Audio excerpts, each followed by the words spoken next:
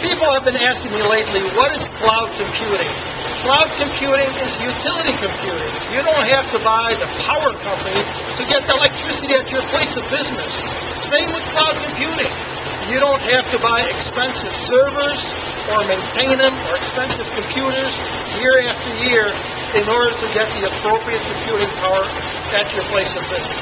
You also don't even have to buy your software. You can rent it all and you can have a, a team of experts supporting you without having these experts on your payroll.